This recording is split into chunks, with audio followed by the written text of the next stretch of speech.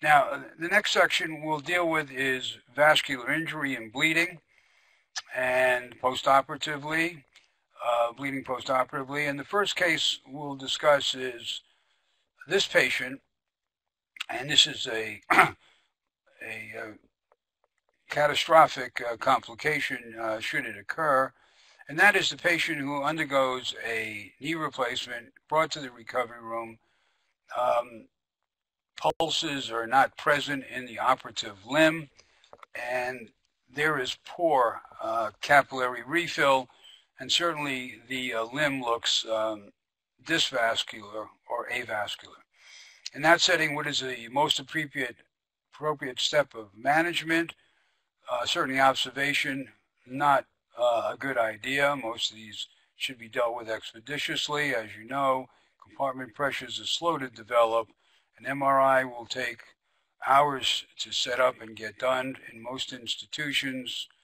So um, an emergent team return to the operating room while the patient is still under, under anesthesia is an option, but best done uh, in the next um, option, which is take the patient to the operating room, call the vascular surgery consult, get them uh, to the operating room to assist, do an intraoperative arteriogram, identify if in fact there is a uh, arterial injury, and then deal with it expeditiously. so you can see here 100%, which is great, of those who uh, answered this question uh, got the right answer. And I think that's an important management uh, to know going into your recertification. There probably will be something on this kind of injury on the test. And I think it's important to uh, be aggressive in the management of this complication. Now, if we overall look at um, arterial injuries, they're, they're luckily and uh, usually very uncommon, but they can occur. In my experience, those patients who are most at risk are the patients with a small knee. So if you're doing a size 1 or 0, depending upon what implant sizing system you use, then the um, popliteal artery is extremely close to the to the back of the knee, and if you perforate through the posterior capsule, uh, either with a retractor or with a saw, as you make the posterior condylar cut, that structure, uh, the popliteal artery, can be damaged. Uh, it tends to be more on the lateral side, uh, so remember that, um, and be careful when you're uh, putting your retractors posteriorly uh, to try to stay intracapsular as best you can and then move the tibia forward without perforating through the back of the capsule.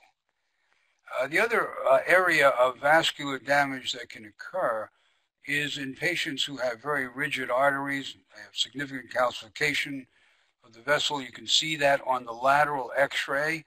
In those patients, number one, I would not use a tourniquet Routinely, if I see calcification in the arterial vessels posteriorly, I do not use a tourniquet.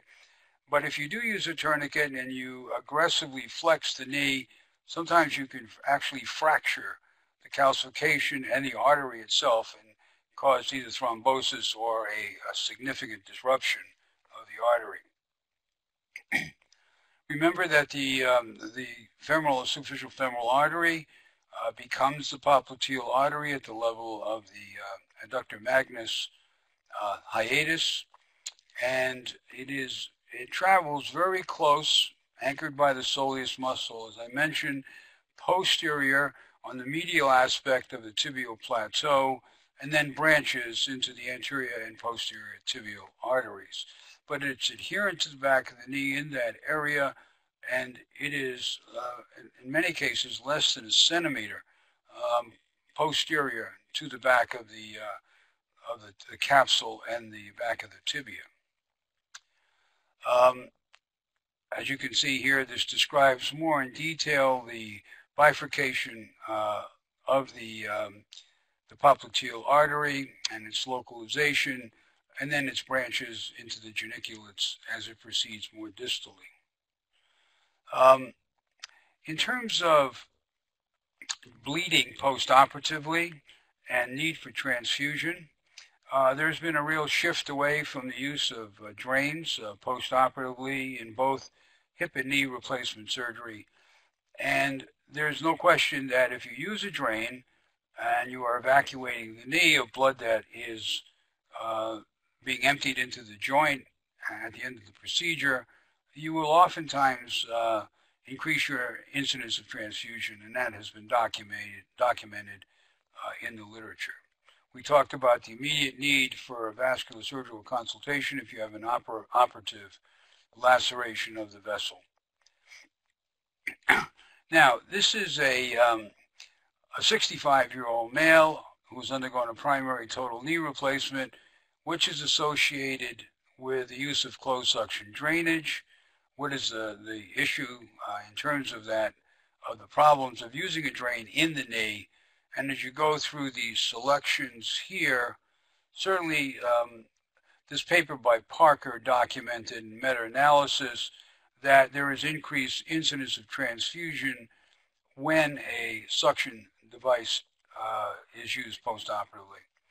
I would just um, add, however, that remember that the knee is going to fill with blood after uh, knee replacement surgery.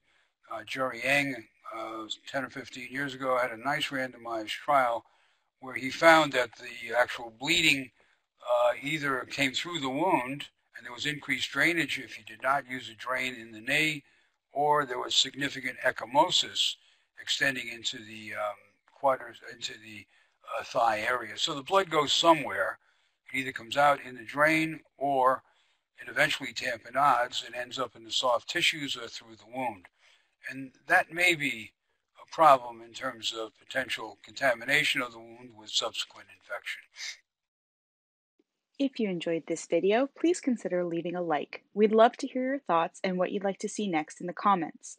Don't forget to subscribe to our channel and follow us on social media.